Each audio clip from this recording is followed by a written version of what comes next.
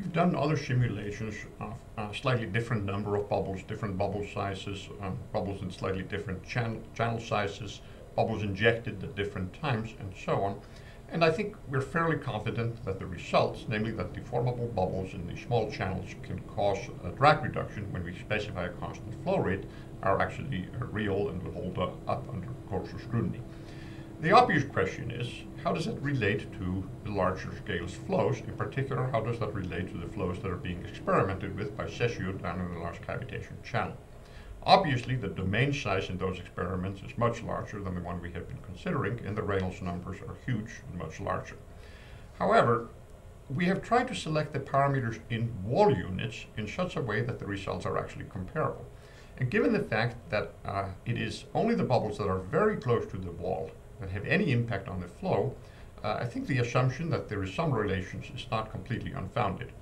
Uh, it is true that the bubble sizes that Ceccio has been looking at are a little bit larger. They're about 100 wall units, whereas ours are only about half of that, uh, selected in part because we don't want the bubble to reach across half the channel. Uh, their Weber numbers are slightly larger than ours, but not enormously so. We've also looked at other things like the Stokes number, the rate response time of the bubble to the flow, and we find actually that the Stokes numbers are relatively close, which is sort of obvious once we are working in wall units. We've also looked at things like the volume fraction, measured as the area fraction through slices cut through the bubbles close to the wall, and again, we find that those are close.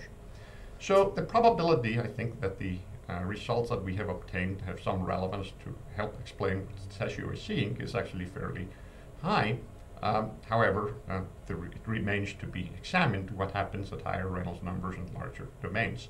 Uh, we've started to do a little bit of that, as I mentioned uh, just near the end of the talk. In addition to help explain what is going on, the detailed data obtainable from the simulation can also provide data for uh, turbulence quantities.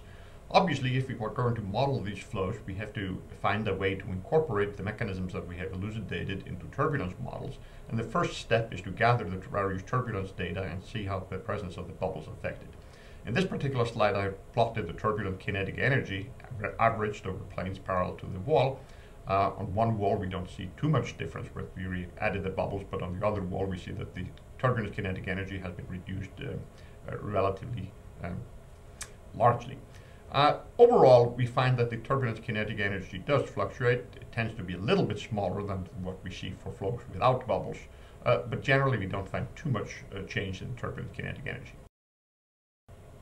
We do, however, find uh, consistent uh, and persistent changes in other quantities. In this particular slide, I plot two turbulence quantities, namely the dissipation uh, at one particular time and the turbulence kinetic energy production. And in both cases, we see that both have been reduced significantly by the presence of the bubbles. As I said earlier, the obvious question is what happens in larger channels and at larger Reynolds numbers. Um, we have started doing some simulations with larger channels, um, and I'm showing you an example of a one channel that is twice as long and twice as wide uh, in this slide.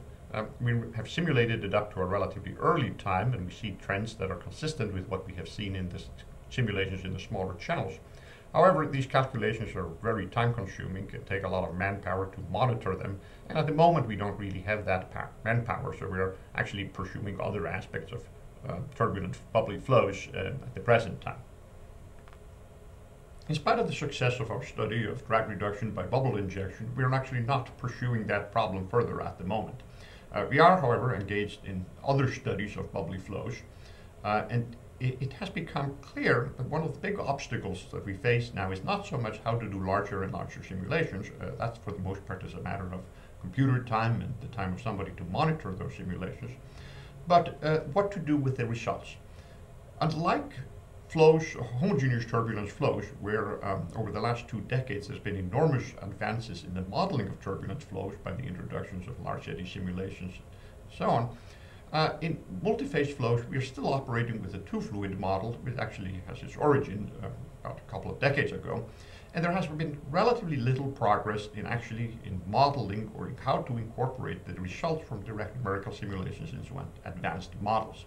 Um, we still don't know very much about how to mo modify the kinetic energy equation, the dissipation equation, and so on. And for the most part, we simply assume that the bubbles are point particles and uh, interact with the flow through the various forces. Obviously, in, as the present results show, for drag reduction, it's not the forces that the bubbles have on the flow, but it is the modification of the turbulent flow by the bubbles that matters. To start to try to um, close this gap to advanced models for multiphase bubbly flows to a degree where we can actually use the data from direct numerical simulations to help us uh, improve the closure, we have done a few simulations, they're still pretty preliminary, but we're pursuing that further. What I'm showing in this slide is actually two two-dimensional simulations of bubbly flows in a channel. Uh, in both cases, the buoyancy uh, drives the bubbles upward, but in the uh, left-hand side, the flow is upward, therefore the bubbles will accumulate near the walls. Uh, and in the right-hand side, the bubble flow is downward, so the bubbles migrate more toward the core. Uh, as you see, the, the, migration is not very prominent, uh, but as you will see from the models in the next slide, uh, in this particular case, it shouldn't be very prominent. This slide shows the average results from the channel flows that I showed you in the earlier slide with the relatively simple turbulent uh, bubbly models, two fluid models by um, Dick Lahey and company, published several years ago uh, for channel, laminar channel flows. Obviously, this is a flow that has been studied extremely well, and therefore you would expect the results to agree very well. Uh, we have had to adjust the parameters a little bit because the flow here is two-dimensional, but for the overall um, overall conclusion is that the results are rather good, except um, for the upflow, where the bubbles accumulate near the wall, we see some discrepancy between our average results and the model predictions. Um, this is, of course, encouraging because um, the, in this particular case, we would expect the models to do well, uh, but this is a first step in trying to um, improve the models um, with data inputted from direct numerical simulations. We hope that we will have a lot more to say about this in the not too far future. The simulations that I have presented have shown that uh, we indeed can see drag reduction in relatively small tur turbulence channels when we inject deformable bubbles next to the walls. Uh, we have provided a plausible mechanism for that, and uh, we've also provided a plausible mechanism for why uh, less deformable bubbles can actually cause drag increase. The major uncertainty is, of course, that the channel is very, very small and the Reynolds number is very, very low. Uh, we've done preliminary calculation in a larger channels um, for only a short uh, time on a relatively fine grid. Uh, we've done some calculations on coarser grid, again, for a little longer time and those all suggest that the mechanisms that we have seen will survive in larger channels. Um, we have not done calculations at a higher Reynolds number, but higher Reynolds number corresponds essentially to a wider channel. And um, since the bubbles only affect the flow very near close to the wall, it seems unlikely that going to higher Reynolds number by enlarging the channel would lead to fundamental differences.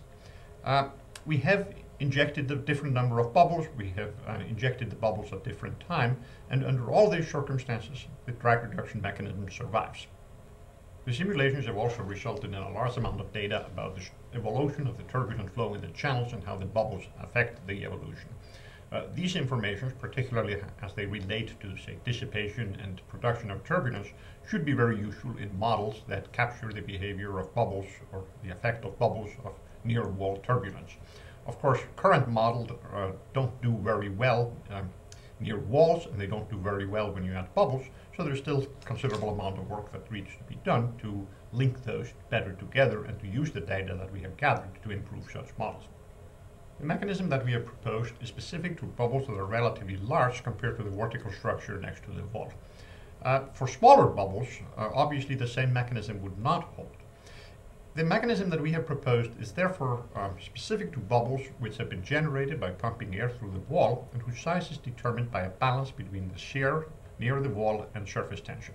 Those bubbles, of course, are, are likely to be slightly deformable, just as Steve sees in his experiments and, and the bubbles that we have been looking at in the simulations. For much smaller bubbles, if such bubble results in drag reduction, the mechanism is, a bit, is likely to be somewhat different. And in, there is therefore no conflict really between what we have found here and uh, explanations that have been proposed for much smaller bubbles. We are simply looking at a very different um, parameter range